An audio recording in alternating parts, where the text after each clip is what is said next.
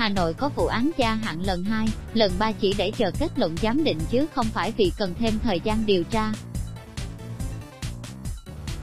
Ông Đào Thịnh Cường Viện Kiểm sát Nhân dân tối cao, cho biết như vậy tại cuộc tọa đàm việc thực hiện giám định tư pháp, trong trường hợp cần phối hợp nhiều cơ quan, tổ chức cho Ủy ban Tư pháp tổ chức ngày 21 tháng 2. Ông Cường nói, hầu hết các vụ án liên quan giám định về kinh tế đều không bảo đảm về thời gian, năm 2013 đến 2018, vụ thực hành quyền công tố và kiểm sát điều tra án kinh tế trưng cầu giám định tư pháp, định giá tài sản trong tố tụng hình sự với 46 vụ án, thì 8 vụ bị kéo dài thời gian giám định. Trong thời gian chờ kết quả giám định, cơ quan tiến hành tố tụng không đánh giá, kết luận được trách nhiệm của các cá nhân liên quan trong vụ án để xử lý theo quy định của pháp luật. Ông Đào Thịnh Cường Viện Kiểm sát Nhân dân tối cao, Ảnh, HT Thượng tá Lê Đức Trường Cục Cảnh sát điều tra tội phạm về tham nhũng, kinh tế, buôn lậu C03, Bộ Công an đánh giá, kết luận giám định là chứng cứ rất quan trọng để đánh giá, kết luận điều tra vụ án. Với tội phạm tham nhũng, kinh tế, cơ quan điều tra khó có chứng cứ trực tiếp, quả tăng để chứng minh tội phạm, thậm chí chỉ lời khai cũng chưa là chứng cứ kết tội. Vì vậy, kết luận giám định về thiệt hại, nghi vấn trục lợi, chính là những chứng cứ tốt nhất để chứng minh.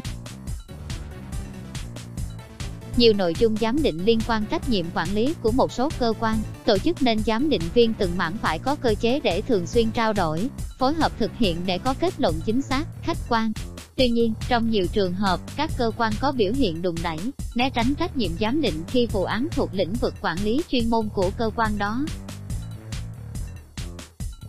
theo ông Trường, có vụ việc khi C03 trưng cầu giám định về quản lý giá cước vận tải, cả Bộ Tài chính, Bộ Giao thông Vận tải đều từ chối giám định.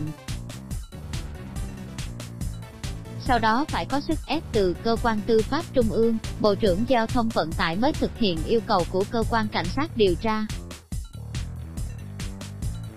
Việc này khiến vụ án tắt, 21 tháng mới có được kết luận giám định. Thượng tá Lê Đức Trường,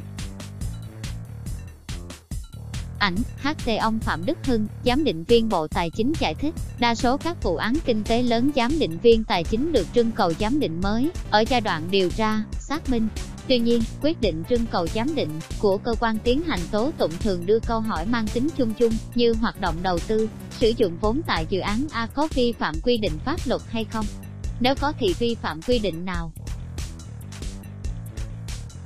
Bên cạnh đó, tài liệu phục vụ kết luận giám định mà giám định viên tài chính nhận được thường không đáp ứng, hoặc thiếu nhiều, phải vừa giám định, vừa định hướng điều tra nên chỉ trong quá trình thực. Hiện giám định, giám định viên mới có thể xác định chính xác tài liệu cần cung cấp bổ sung. Giám định viên thực hiện giám định phải chịu trách nhiệm cá nhân trong khi đây là thực thi công vụ. Điều này gây tâm lý lo ngại, sợ rủi ro cho lĩnh vực tài chính rất phức tạp, chuyên sâu, các vụ việc giám định viên Bộ Tài chính được trưng cầu giám định, đều có nội dung trưng cầu giám định thiệt hại. Đây là nội dung phức tạp nhất với vụ án kinh tế, nhiều khi phải phụ thuộc vào kết quả kết luận của giám định viên chuyên ngành khác, phải vận dụng nhiều chuẩn mực chuyên môn khác nhau, ông Hưng nói.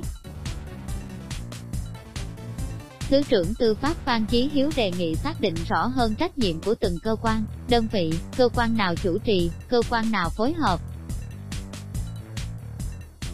đây là điều kiện tiên quyết bởi đặc thù của giám định là chịu trách nhiệm rất độc lập về kết quả giám định. Nếu quy định rõ sẽ tránh được việc đùn đẩy trách nhiệm. Let's Block Us